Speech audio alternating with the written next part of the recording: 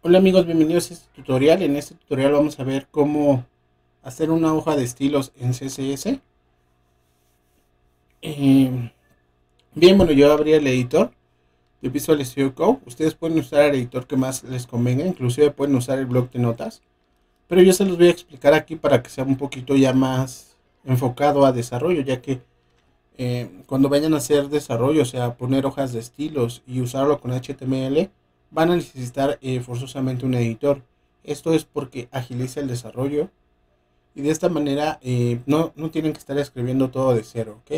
El blog de notas se puede hacer como les comento, pero les recomiendo más un editor. Ahora, este editor es gratuito, Visual Studio Code es gratuito, es ligero y aparte pueden instalar muchísimos plugins. Podemos venir aquí a Visual Studio Code. En el navegador ponemos Visual Studio Code y entramos aquí a Visual Studio Code a la primera opción. Podemos entrar aquí y descargarlo desde aquí y se instala como cualquier programa de Windows.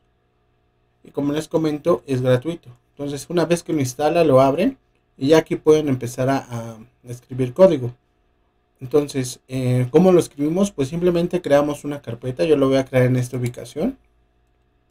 Esto es para tener los archivos ordenados. De nombre le voy a poner como web voy a arrastrar mi carpeta a Editor. Espero unos segundos. Aquí ya pueden ver que ya está mi carpeta abierta. Nada más arrastrar a Editor. Cierro aquí. Y vamos a crear aquí nuestro archivo raíz. Aquí ya estamos dentro de la carpeta. Vamos a crear un archivo raíz en el new file. Vamos a ponerle index.html. Le damos enter y se crea el archivo. Aquí lo pueden ver. Entonces ya creamos un archivo de HTML. Ahora, ¿cómo creamos una hoja de estilos? Pues aquí igual ponemos new file y ponemos style.css. Y así es como se crea el archivo. Ahora, ¿por qué pusimos HTML? Porque normalmente la hoja de estilos por sí sola no funciona. Necesitamos un archivo que sea un archivo de HTML, un archivo raíz, para poder vincular ese archivo y poder darle estilos a lo que es el, el, el HTML. Y esto es necesario. Ahora en Visual Studio Code necesitamos crear una estructura básica. Esto es una estructura de HTML5. En este caso ponemos HTML. Elegimos el de medio. Y esto es una estructura básica. ¿Ok?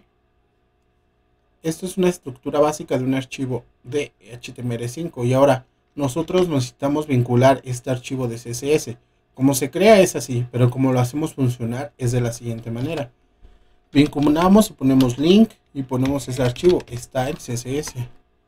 Como pueden ver, puse lo que es la propiedad link y aquí lo mandé a, lo mandé a llamar. Y aquí ya lo hacemos funcionar. En este caso podemos venir a la carpeta donde la que seleccionamos, le podemos dar clic y pueden ver cómo ya está nuestro archivo de estilos y el archivo de HTML. Le vamos a dar doble clic al de HTML lo abre y aquí ya podemos hacer algunos cuantos cambios. Podemos venir aquí y podemos decir que en el body, o sea, en toda la página, queremos un color, que es un, background color. Agua, ¿no? Guardamos con control S, recargamos y pueden ver cómo ya está funcionando el CSS. Cuando pusimos body nos referimos a esto, a todo lo que va a estar dentro del body, entonces abarca toda la página. ¿Ok? Pero así lo vamos haciendo funcionar. Ahora si necesitamos, por ejemplo, un título, un H1 que diga Hola Mundo, control S, recargamos, y aquí va a decir Hola Mundo. Ahora si necesitan un color diferente, pues simplemente ponen una clase y ponen la clase que quieran. En este caso ya la voy a nombrar así. Venimos aquí, ponemos la clase con punto .txt y ponemos la propiedad que cambia el color de la letra, que es color, y lo podemos poner de esta forma. Recargamos y aquí aparece ya el color de la letra. El color de la letra o los colores pueden ser desde ah, hexadecimal o RGB, RGBA. Ok, cualquiera de ellos funciona correctamente. Control S para guardar, recargamos y aquí pueden ver ya los cambios. Pero así es como se hace una hoja de estilos de CSS y la hacemos funcionar de la siguiente manera, ¿ok? Ahora también les voy a recomendar una extensión. Esta extensión se llama Live Server y la pueden instalar aquí en Extensions. Vamos al search, vamos a poner Live, ponemos Server. Y es la primera opción que nos aparece, esta de Live Server. La instalamos, aquí en esta parte va a decir Install. Esperan unos segundos, 10, 20 segundos, que se tiene que poner como Disable y debe decir Uninstall. Una vez que se instala, regresamos al Explorer, a nuestro archivo en cualquier parte y clic derecho del ratón. Y le damos en Open Server. Estas dos opciones. Le vamos a dar Open with Server. Y se va a abrir un servidor local.